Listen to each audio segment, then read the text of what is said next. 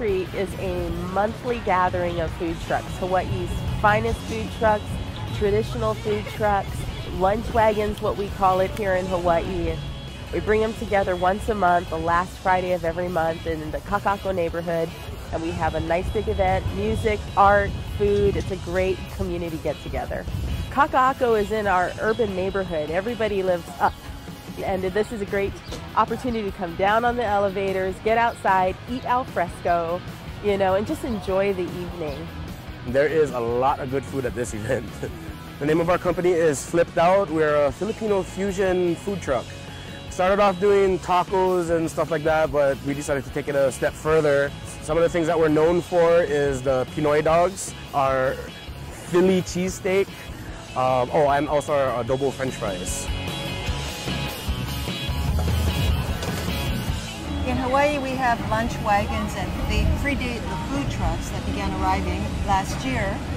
Lunch wagons normally park at a certain spot, a predictable spot, and they dish out usually plate lunches. That's your protein, your two scoops white rice, and your macaroni salad. Now the food trucks stepped it up. It's all local folks cooking local food. Uh, a lot of times if it's like tacos, they put a local twist on it. So it's a way to get local flavors with an international twist. They do use social media to let people know where they're going to be on a given day. So if you want to know where Shogunai Tacos is going to be, where Tiki Truck is going to be, you're going to have to check their Facebook or Twitter. One, two, three. One, two. Is it salty or spicy? No, no, just right. So social media is like the biggest thing since sliced bread. It's um, the way people interact on the internet, and it's beyond email. It's um, a way to share what you're doing with everybody um, in real time. I have a blog on Nonstop Honolulu. I'm Melissa808 on Twitter. I run around, um, take pictures with my smartphone, take videos with my smartphone, and post it immediately to the web. For Eat the Street, I might pump out about 30 to 40 tweets, um, depending on what there is to eat and who's here. I might get really excited.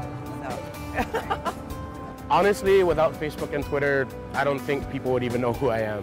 80% of my marketing and everything, I, I, owe everything to Twitter and Facebook. All we got to do is impress one person, they'll tell 10 people, those 10 people will tell 50 people, and on and on and on.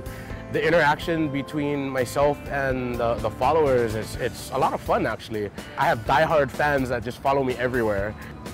My chef, he yells at me quite often that I'm on there twittering all the time or on Facebook and updating people and with what our adventures are. And all the trucks are a family. That's a big part of why we're out here because everybody just enjoys it. We keep in touch during the week through Twitter and Facebook, and it's, it's just a really good time. My name is Matt Duffy, and my company's name is Shogunai Tacos, and my chef is uh, Chef Kamal Jemmari, and we sell fusion tacos, kind of Japan meets Morocco, North African cuisine. This is the Osaka Joe taco that I have here. This is our signature dish. This is uh, pork that's marinated in ginger, garlic, lemon, and shoyu. And we have two kinds of sprouts. We have snow pea sprouts and mung bean sprouts. And then we put our own shogunai sauce, which is a kind of a mixture of a few different Japanese sauces. And then we sprinkle a little furikake on top of it. I'm Sean Priester. Soul Patrol is my vehicle towards abundance and happiness and uh, spreading love and joy to people. We sell Southern regional cuisine. like to mix it up with some local uh, products. I get my collard greens from, Wai, from from Mohala Farms. Uh, I get my sausage from Kukui Sausage Company, which is a local company as well. This is called, this is a crab mac and feta. We have some extra feta left over from a party. A cook of mine claimed that he can make a mac and cheese with feta that tasted good. I didn't believe him. I sat down and ate it and my mind was saying no, but I kept eating it until it was gone. And so eventually we ended up putting crab in it and bacon and stuff like that. So it's a cult favorite now.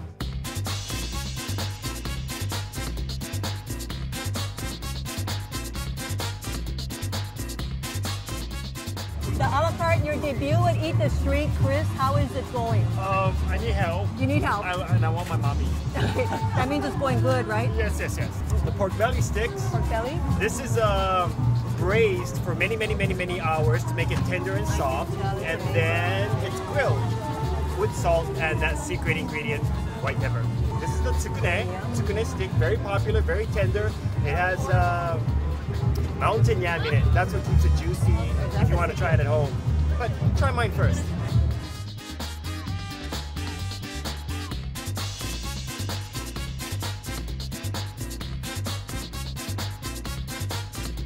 A waffle hot dog is a typical good quality hot dog surrounded by a slightly sweet, crispy batter. To prepare for an event like this, we scout the trucks first, and so we kind of look at the list and see who's new.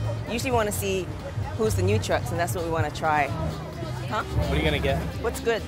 The blackened ahi is a win. Yeah, I've had that before. The garlic shrimp is good. Hello. The garlic shrimp like a one of your special mixes again too, or Sorry, I just made it up last week. oh, local local family, and they created a lot of their own proprietary seasonings and mixes, and they just started making on their own. The garlic shrimp, though, I asked her, "This is one of your one of your new mixes?" Because I haven't seen it at, at the farmers markets or anything. She's like, "I just made it up last week, so I don't have a story for you yet." But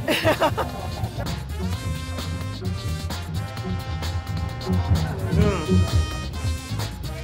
Not the real deal. My God, it's so garlicky. I'm gonna kill someone with my breath, but it's so good. It is so good. I'm sorry? Is there a secret to this? No? Did you try it? Yeah, it's so garlicky. It's good. Was garlicky? Yeah, it's like it's so Little addicting. crunch to it. That's how I wanted it. Mhm. Yeah. Just like Funko. What's more popular, the King Kamehameha or the Tri Weight? You want to try the best. Okay. You know what I mean? Yeah. right? Yeah? Okay. Definitely the King's Salmon. Okay. This is a malasada burger. So a malasada is a deep fried Portuguese donut. And so they cut it in half and made it the hamburger bun instead of a regular hamburger bun. So it's supposed to be sweet. And um, I ordered the King Kamehameha, so it has um, bacon and kalua pig in it. That's so not on your diet. That's so good. It is, really? Uh,